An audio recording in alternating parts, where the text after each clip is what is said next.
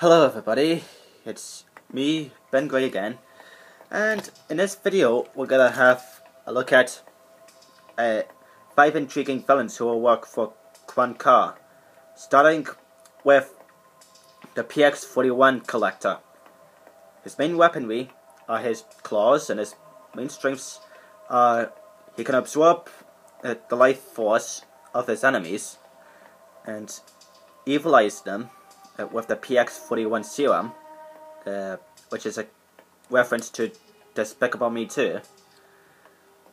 And he has animal strengths like eagle vision, crocodilian teeth, uh, simian feet and agility, canine senses, you name it.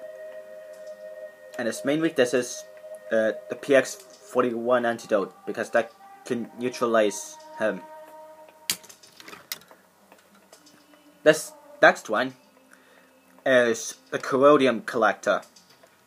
Now, his main weaponry is his uh, big sword, uh, fueled by Corrodium, and his main strengths involve superhuman strength and durability and agility, and jumping, and intelligence, and he's also uh, radioactive, uh, meaning that if exposed to uh, enemies uh, not wearing a strong enough suit will uh, mutate them into annual monsters. Uh, I say annual monsters because he references the original Ben 10 series. Uh, and his main weakness is sunlight because his corrodium effects will wear off in solar energy. This next one is Petrified Darkness uh, Collector. Now his main weaponry is his uh, gun. His main strengths are he can collect Petrified Darkness to uh, fuel uh, evilizing lasers. And he has immense strength and durability and agility. And he also has cyber intelligence and cyber mind. And he does have the power to mutate his enemies into purple creatures with pink and magenta crystals on the ears, uh, fingernails, toenails, teeth, you name it.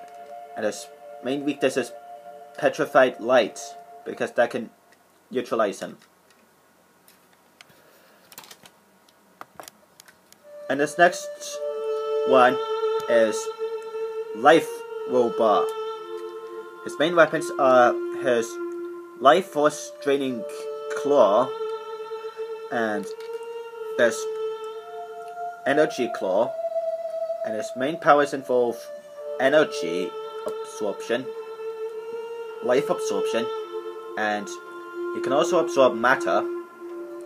Uh, so that he can uh, uh, change his color scheme into whatever he absorbs.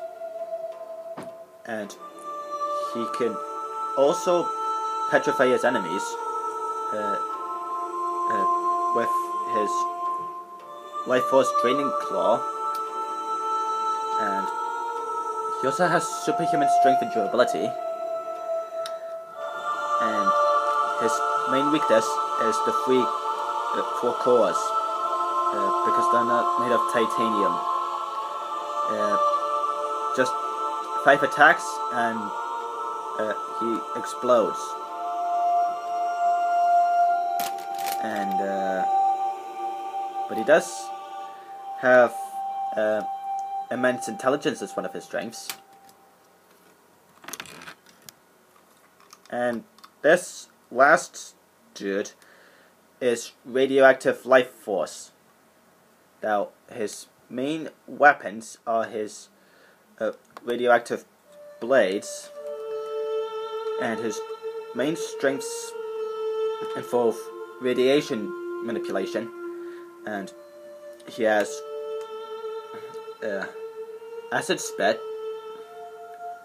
and he can also spew out urine, and he does have the power to camouflage and he also has uh, the power to shapeshift. He's also intangible, and he can absorb uh, energy, and he's also got levitation, and he can also withstand the heat and cold, uh, depending on how strong fire-based or ice-based uh, attacks are. And his main weakness is lead because it's too thick for his original uh, radiation, and paper because gamma rays can't go through it.